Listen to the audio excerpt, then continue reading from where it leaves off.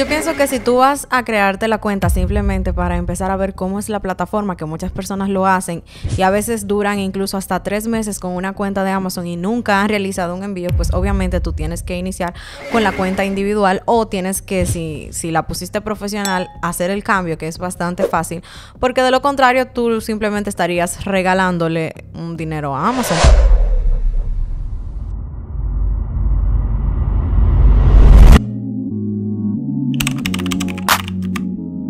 Hola a todos y bienvenidos una vez más a Modo FBA, el podcast. En el día de hoy, como siempre, me acompaña Leo. Hola. Y su servidora Rosy. Vamos a tratar un tema que para muchas personas que están iniciando en el mundo de Amazon y están ahora creando sus cuentas, puede ser una gran interrogante o puede ser un poco incluso confuso tomar esta decisión. Y es, ¿cuándo debo yo abrir una cuenta individual o una cuenta profesional en Amazon? ¿Es necesario que yo inicie pagando por la cuenta profesional o no? Exactamente. Y rápidamente, de todos modos, te vamos a dejar la información en la caja de descripción para que tú veas, porque Amazon ellos mismos te ponen un gráfico para que tú puedas ver qué hace, qué tú puedes hacer con la cuenta individual y qué puedes hacer con la cuenta profesional.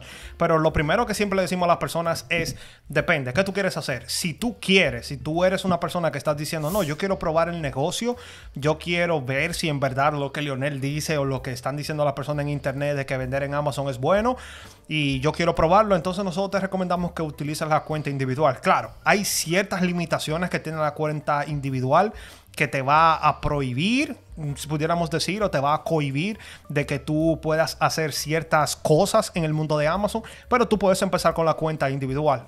Ya cuando tú quieres irte un, un, poquito más profundo, que ya tú quieres tomar el negocio en serio, entonces nosotros siempre les recomendamos a la persona que te vaya directamente con la cuenta profesional. Si tú no sabes, hay una diferencia en el precio de estas dos cuentas. La primera, la cuenta individual, Amazon no te va a cobrar una mensualidad, pero tú vas a pagar 99 centavos por cada producto que tú vendas. Claro, estos 99 centavos son solamente como un fee que Amazon te está cobrando. Esto no quiere decir que Amazon no te vaya a cobrar otros fees que ellos cobran por tú utilizar el FBA y por utilizar su plataforma forma Y ya luego la cuenta profesional, entonces tú vas a pagar 39 dólares con 99 centavos todos los meses, pero tú vas a tener acceso limitado a que tú puedes vender todos los productos que tú quieras. Entonces aquí la matemática o la fórmula es simple. Si tú vas a vender menos de 39 productos mensuales, entonces te conviene que tú utilices la cuenta individual.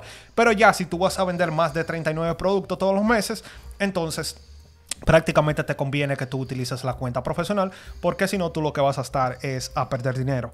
Ok, entonces rápidamente vamos a ir a algunas de las diferencias que hay en la cuenta individual y la cuenta profesional. Y lo primero de todo es que con el plan individual tú vas a tener acceso limitado a diferentes funciones y herramientas, que es lo que te estamos diciendo.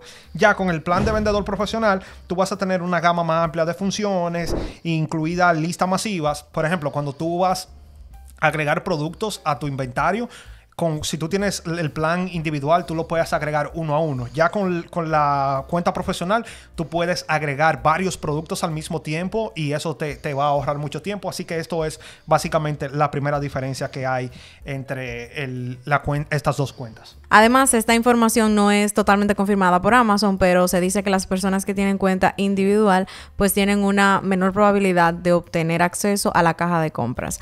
Así que si a lo mejor tú pues tienes una cuenta individual y sientes que también por eso Amazon no te está tomando muy en serio, puedes probar pasándote a la cuenta profesional a ver si de esta manera pues también crecen tus probabilidades de tener el buy box, de tener la caja de compra y por ende tener más ventas. Bueno, yo pienso que esto pasa precisamente porque ese plan es para personas que quizás em, están buscando vender, pero no están buscando vender a, grandes, a gran escala. Entonces, de esta manera, em, Amazon en realidad sí le da mucha importancia a las personas que tienen muchas unidades. Esta es una manera también de estabilizar un poco el precio, ya que si alguien tiene muchísimas unidades y toma el buy box de repente, eso quiere decir que va a durar más tiempo en ese buy box, a menos que esta persona haga un cambio en el precio, dígase que lo incremente o a veces incluso si lo bajas, aunque es muy poco probable que si tú bajas el precio te vayan a quitar el buy box, pero si lo incrementas sí suele pasar.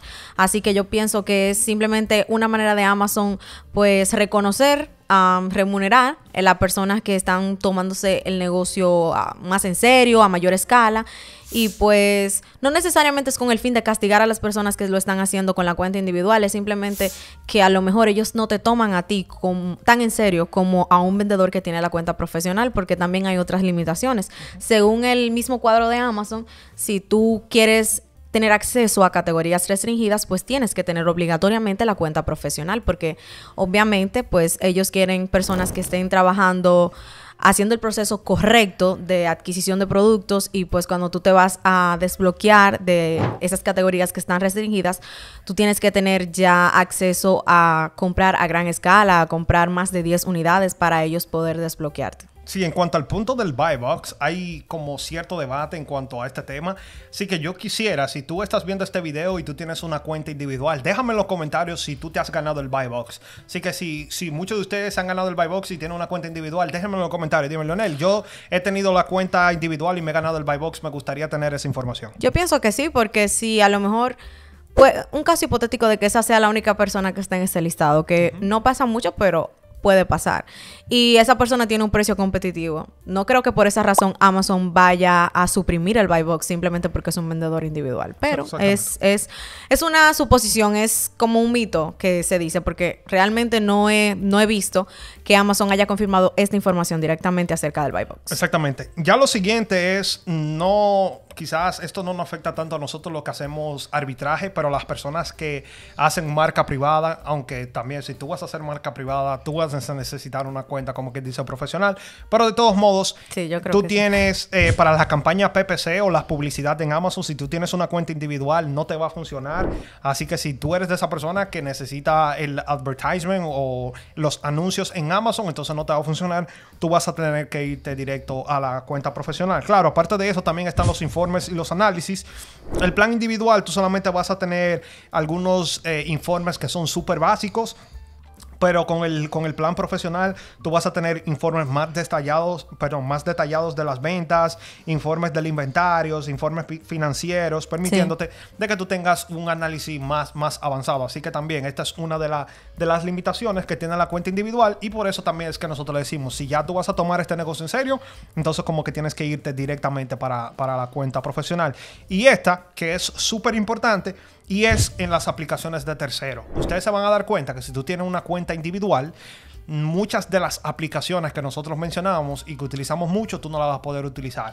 Tanto calculadoras como Repricer, como cualquier otra aplicación que te ayuda a buscar productos o a manejar cierta parte del inventario o del negocio de Amazon, tú no la vas a poder utilizar si tú tienes una cuenta individual. Así que aquí está claro. Si tú todavía estás un poco dudoso y todavía no tienes, no vas a correr PPC, no, todavía no vas a agregar ninguna herramienta, tú te puedes ir con la cuenta individual sin ningún problema.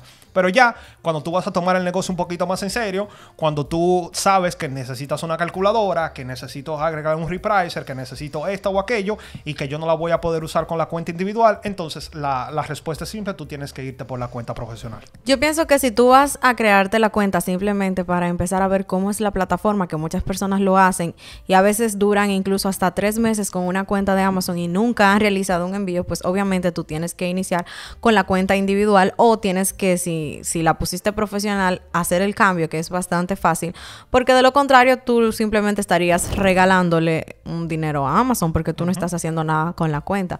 Obviamente no estamos diciendo que las personas se van a crear una cuenta por creársela, pero sí es posible que se creen una cuenta para probar porque quizás no tienen todo el tiempo para dedicarle al negocio en este momento, pero quieren ver si hay posibilidad en el negocio para ellos, si es algo que a ellos les podría gustar.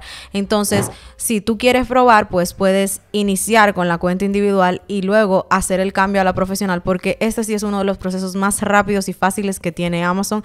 Tanto activarla como desactivarla solamente te tomaría como muchos cinco minutos y ya tendrías acceso pues a todas las funcionalidades que están disponibles en Amazon con la cuenta profesional. Así que nada, voy a estar leyendo los comentarios. Ya les dije, si tú tienes una cuenta individual y te has ganado el buy box, déjame saber. Y también déjenme saber cómo ustedes cuando se crearon la cuenta, si adquirieron la cuenta individual o si adquirieron la cuenta profesional. Voy a estar leyéndolo y me gustaría saber cómo ustedes empezaron. Así que nada, una vez más, muchas gracias.